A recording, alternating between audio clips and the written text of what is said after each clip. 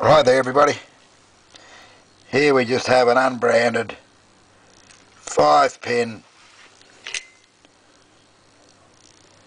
rim cylinder. No identification on it.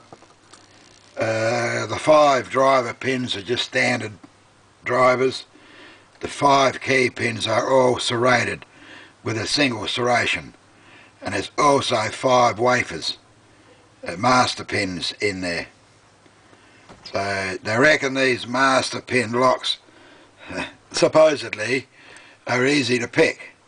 Well I got several of these and I ain't picked one of them yet. So obviously I'm not parting my hair on the right side of my head or something because I'm stuffed if I can pick them this is the only one that I've been able to pick. So uh, yeah, I've already stripped it down and, and uh, checked out what pins are in it.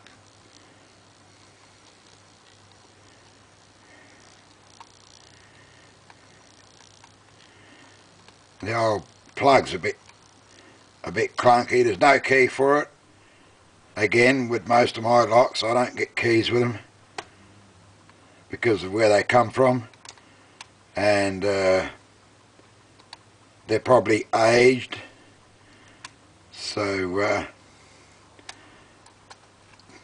I'm figuring if ever I get new locks, they're going to be a piece of cake to pick after these.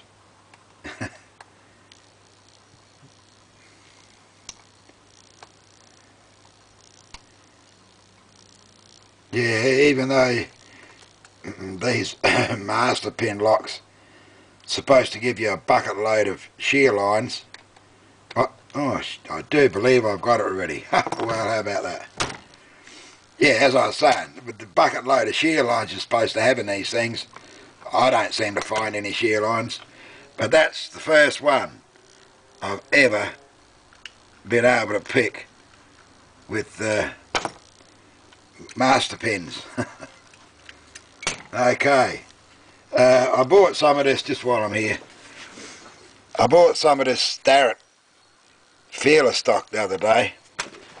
28 thou. I thought it's probably time I improved on these steak knives. Although these have served me extraordinarily well.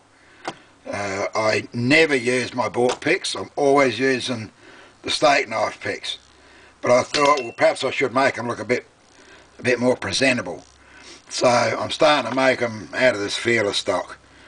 The handle again is just heat shrink tubing uh, which I apply first then I open the end and stuff one of these polar bar sticks down there cut it off at the right length and stuff a polar, bit, polar bar stick down each side for the handles sticking them up a little bit and I'm making them five and a half inches long they're sort of you know they can actually get over your wrist part here thumb part uh, okay, that'll do. I've waffled on enough.